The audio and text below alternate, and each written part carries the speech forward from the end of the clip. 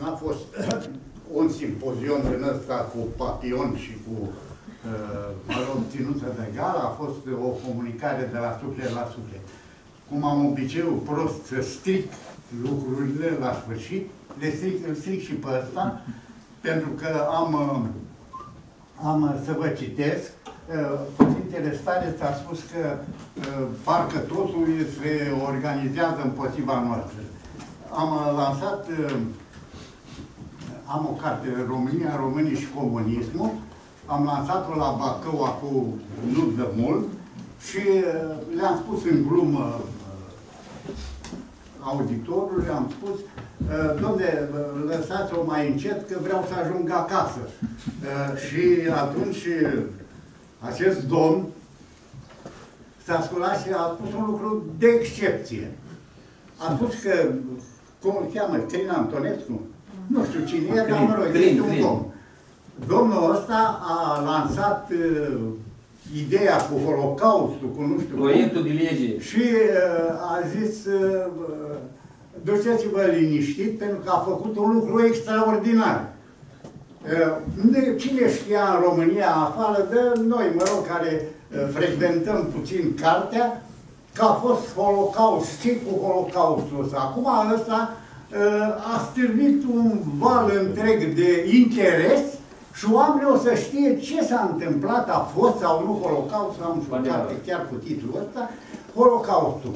Foarte bine. Bine că l-au pus odată pe tapet, ca să știm exact că suntem un popor de criminali nenorociți, care am omorât niște oameni nevinovați, copilași, bătrânei și așa mai departe, și că nu merităm să avem o autoconducere românească și că ne trebuie o conducere înțeleaptă undeva de pe Iordan, care să ne conducă și să mergem în pas triumfal spre un viitor glorios. Pentru că cunosc pentru tinerii și pentru aviatorii mei, este un domn în țara asta românească Uh, care s-a născut dintr-o familie organizată de un serviciu secret uh, extern. Uh, tatăl și mama au fost căsătorite, mă rog, prin ordin. Băiețelul a crescut aici, s-a dezvoltat, a devenit un fizician. N-am auzit de produsele lui uh, intelectuale, Eh, dar este un foarte violent antiromân. A mâncat în fiecare lună câte 13.000 de euro, pentru că fostul președinte al țării, eh, marinarul nostru glorios, eh, l-a papalizat la Institutul de Relații Cultural. Culturale cu străinătatea, în care poziție, ce făcea domnul ăsta? Părinte, să mă scuzați, îmi dați canoanele după ce termin. Uh, ce făcea băiețelul? Se ducea uh, la comunitățile românești din diaspora și spunea, Eminescu, cadavrul nostru din debara.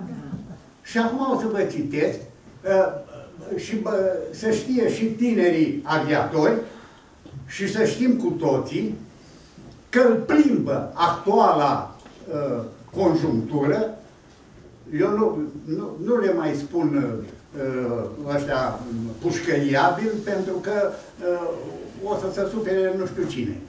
Dar îl plimbă unde? La Academia Militară. Cu cine? Cu Lucian Boia. Cine e Lucian Boia? Ăsta e un istoric, între ghilimele, care a fost plătit de Sărăș, dacă nu știți cine e Țărăș, umblați la uh, internet și aflați cine e. Uh, deci, uh, plătit de Țărăș acolo și a făcut studiile, uh, care uh, scrie istoria anti-românească. Da. Domnul Lucian Boia. Uh, se dă, ia de mână cu domnul Patapievici și să îl plimbă guvernul de la toate instituțiile și le vorbește, le vorbesc ei doi despre România. Și acum să vă spun, uh, aveți o pereche de ochelari, uh, să vă spun ce Cum vede domnul Patapievici România, pe care noi am slujit-o cu sângele. Și voi ăștia tineri, dacă veți fi chemat, tot o să ajungeți să vă facem o, dacă mai trăim noi ăștia bătrâni, să vă facem o troiță. Ia fiți atenți aici ce spune, el a scris o carte. Ce spune, doamnelor, mă iertați, nu eu am scris. Ăștia se numesc postmoderniști. Doamne, sunt niște băieți inteligenți. Da, dă cultura afară din ei. Nici nu poți să te uiți la ei la soare, te poți uita, dar la ei ba. Hai să vedem ce spune unul dintre ei. Părinte, mă iertați. Dacă nu mă iertați, ce să fac? Asta e. Individul să nu, nu mă ajut ochelarii, dar mă ajut eu. Așa. Vă dau o mostră de postmodernism. V-am spus că stric toată isprava asta. N-am ce face. Poate vedeți curtea mai tare. Da. Toate pe ăștia și dați Eu am ochelare, dar eu nu stă cu geanta și nu vine la mine aici.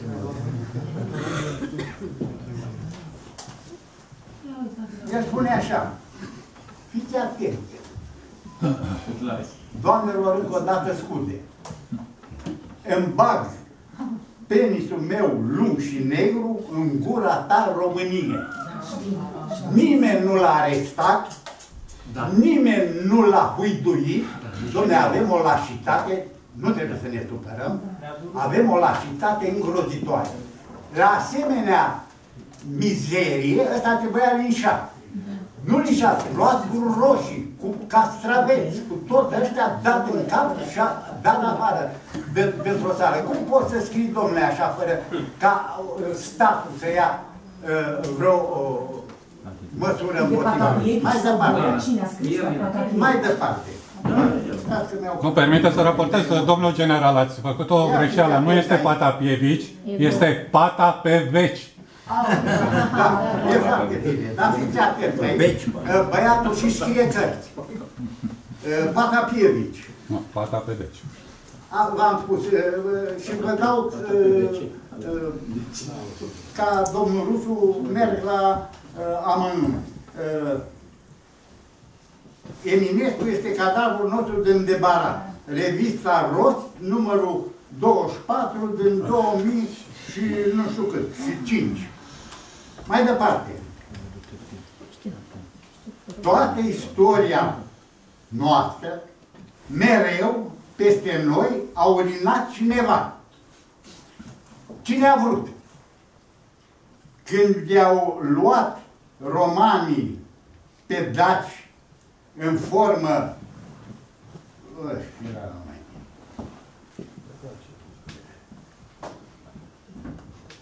e foarte interesant. Răbdați-mă ca să aflați niște lucruri în deosebire. Iată, Vă uitați pe las, la unde e geanta? Poate geanta aia fac. Așa ochelari de colonel și trebuie să facă. Obligatoriu. A, perfect.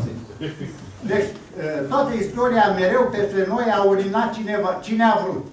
Când i-au lăsat romanii pe daci în formă hibridă, strămoșească, ne-au luat la urinat slavii. Se cheamă că ne-am plămădit din această clisă daco-romano-slavă. Mă rog, apoi ne-au luat la urinat la gard turcii. Erau și perversi. Era să ne necăm.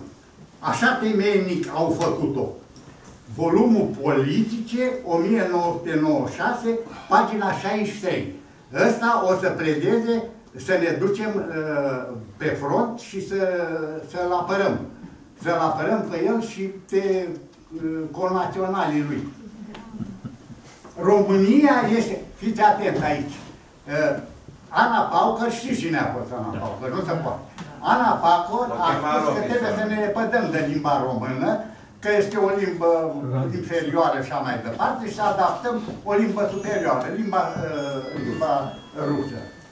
Să vedeți ce spune domnul românul nostru Patapievici. Spune așa, Român, româna este o limbă în care trebuie să încetăm să mai vorbim. Sau să o folosim numai pentru înjurături. Mai departe. Radiografia plaiului miolitic este ca fecale, o umbră fără schelet, o inimă ca un cur, fără șira spinării. Domnul președinte al țării, pe vremea aia, când a apărut cartea, a apărut cartea asta, nu l-a expulzat, nu i-a luat să-l arunce cum au făcut guvernele uh, antebelice cu oameni de teapa asta. Îi lua și îi expulza în 24 de ore, îi trimitea acolo unde le trăgea sufletul și unde... E, spuneți-mi mie, cum s-a... Deci, astăzi câțiva dintre prezenți sunt pușcăriani. Ați vorbit de Radu Gir, nu e voie. Ați vorbit de Vasile Militaru, nu e voie. Dacă eu aș fi vorbit de ce a făcut mareșalul Ion Antonescu uh, în răsărit ca să uh, repare niște greșeli istorice ale politicienilor, care să știți că ăștia de astăzi nu sunt o excepție, sunt urmașii ălora, uh, care au dus țara românească de sa, antebelice aia pe care îi tot ridicăm în slavă, antebelice aia care au furat bugetul armatii și care au pierdut Basarabia, ă, Transilvania atâta cât a fost, fără să tragă un foc, foc de armă. Așa. Și cu ă, Vreau, să, vreau și cu asta închei că m-am încins și nu e bine, vin la aterizare și ă, vă spun că în această situație dramatică, tragică pentru poporul român, suntem inconștienți, ne păcălesc de pas cu pas. Uh, pregătesc un prim-ministru și un, un uh, viitor conducător de țară foarte meticulos. Ăsta este domnul, uh, nu știu ce, e ceva mare la un serviciu de informații al țării românești, are și el trei nume, că văd că așa se poartă cu trei nume. Uh, domnul ăsta a fost școlit la Oxford într-o uh, într-o facultate uh, patronată de organizație internațională, așa, și a fost școlit, a fost ministrul de externe, pe urmă l-au pus ca să știe toate lucrurile și a fost și consilierul actualului președinte, președinte care uh, se prezinte la defilări și așa mai departe și a făcut următoarea declarație superbă. N-am învățat în armată decât să încos nafturii. Atât l-a dus capul, atât a făcut. A făcut nafturi, ce să-i fac? Asta, mă rog, să fie sănătos, vesel, și îmi pare bine care a fost nafturile la redingotă cu sucție regulamentar. uh, nu vă supărați pe mine. Lucrurile ăsta trebuie spuse pe nume. Dacă tot timpul stăm cu capul uh, la adăpost și ne menajăm și ne uh, corcolim, nu ajungem nicăieri, ajungem exact la ce în județul Giurgiu s-a distrus uh, sistemul sanitar. Părinte, mai încă o secundă. S-a distrus uh, sistemul sanitar. La ordine. Nu s-a distrus, că am vrut noi să-l distrugem. Uh, cine la facultatea de medicină de Iași studiază o mie de băieței, veniți din țări sudice, mai spre Orient apropiat. Studiază, ei știu limba română, studiază așa, viitorii o mie de medici, viitorii șefi de spitale. S-a distrus sistemul sanitar și într-o într, -o, carte foarte interesantă spune așa, o să-i hărgățim în așa fel o, o tălmăcesc, o să-i călăgățim în așa fel pe români, pe creștini, încât să se sature de guvernele lor uh, incompatibile, uh, mă rog, așa, uh, și o să ne cheme pe noi să-i conducem ca să realizeze uh, lucrul se întâmplă în țara românească.